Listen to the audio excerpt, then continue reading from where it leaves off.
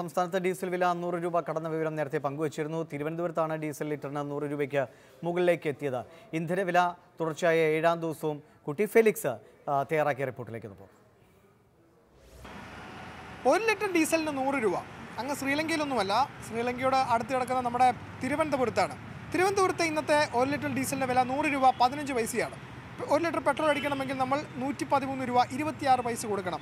ഇന്ന് പെട്രോളിന് എൺപത്തിയേഴ് പൈസയും ഡീസലിന് എൺപത്തി നാല് പൈസയുമാണ് കൂടിയിരിക്കുന്നത്. സാധാരണക്കാരനെ സംബന്ധിച്ചിടത്തോളം അവന്റെ ജീവിതത്തിൽ വളരെ പ്രയാസകരമായ ഒന്നാണ്. പ്രത്യേകിച്ചും ഈ ടാക്സി വാഹനങ്ങൾ ഉള്ളവർക്കൊക്കെ തന്നെ വലിയ ഇരുട്ടടിയായി മാറുന്നു ഇന്ധന വില വർധനവ് എന്ന കാര്യത്തിൽ സംശയമില്ല. ഏതായാലും ഓട്ടോറിക്ഷ തൊഴിലാളികൾ അടക്കമുള്ള ടാക്സി കാർക്കാണ് വലിയ പ്രയാസം ഉണ്ടാക്കുക.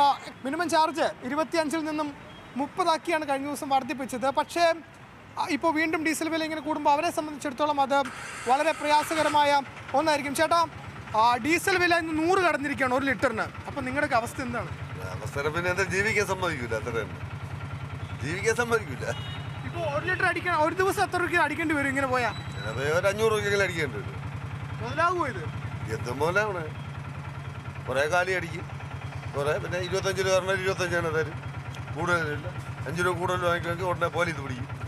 പാവപ്പെട്ട കുടുംബത്തിലുള്ളവരാണ് ഈ ഓട്ടോ ഓട്ടിക്കുന്നത്. തീരെ വയസ്സായതും അല്ലാതെ അത് വീട്ടിൽ പഠിക്കുന്ന കുട്ടികളുണ്ട്.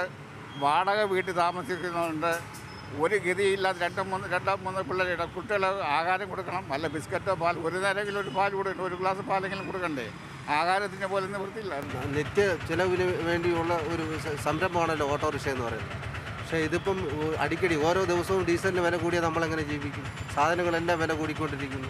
സാധാരണക്കാരനെ സംബന്ധിച്ചിടത്തോളം വലിയ ഇരുട്ടടി ഉണ്ടാക്കുന്നതാണ് അല്ലെങ്കിൽ ആ വലിയ പ്രതിസന്ധി ഉണ്ടാക്കുന്നത് തന്നെയാണ് ഇന്ധന വില വർധനവ്. ഇനിയും ഉയർന്നാൽ തീർച്ചയായിട്ടും അവരെ സംബന്ധിച്ചിടത്തോളം അത് താങ്ങാൻ കൂടി കഴിയില്ല.